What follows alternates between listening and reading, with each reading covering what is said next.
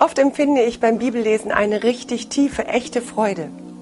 Ich freue mich über das Wort, das zu mir kommt, das Wort, das mich erreicht, das Wort Gottes, das direkt in mein Leben spricht, das mir Veränderung anbietet, das mich tröstet, das mir Zuversicht, Ermutigung gibt.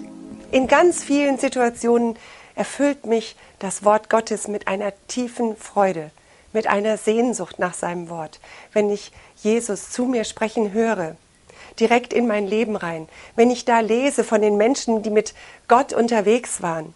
Wenn ich lese, welche Pläne Gott mit seinem Volk hat, dann erfüllt mich das mit tiefer Freude und Zuversicht und mit einer echten Hingabe an Jesus. Ich habe gelesen bei dem Prophet Jeremia, dass er selbst in einer Gerichtsbotschaft, die er von Gott für das Volk empfängt, selbst in einer Gerichtsbotschaft sagt, Deine Worte sind mein Leben. Ich freue mich von Herzen, wenn du mit mir redest. Denn ich gehöre ja dir, Herr, du Allmächtiger. Eine andere Übersetzung beschreibt es ein bisschen anders, aber auch so intensiv. Fanden sich Worte von dir, dann habe ich sie gegessen.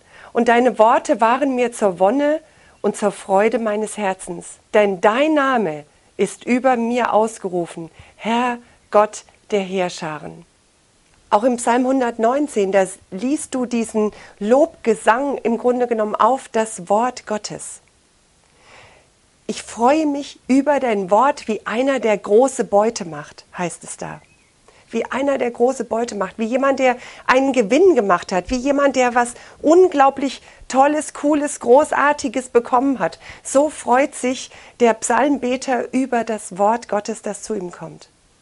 Ich wünsche dir, dass du von dieser Freude angesteckt wirst, dass du dich neu in das Wort Gottes reingräbst und schaust und liest, wie dieses Wort ganz persönlich zu dir spricht, wie es dich ermutigt.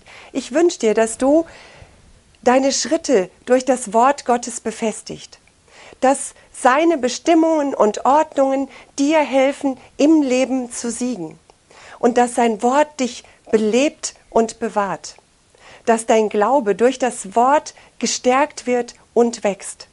Alle diese Dinge bietet dir das Wort Gottes an. Es ist nicht weit entfernt, es ist ganz nah. Du hast es jeden Tag in der Hand, jeden Tag vor den Augen. Und es will in dein Herz hineinkommen.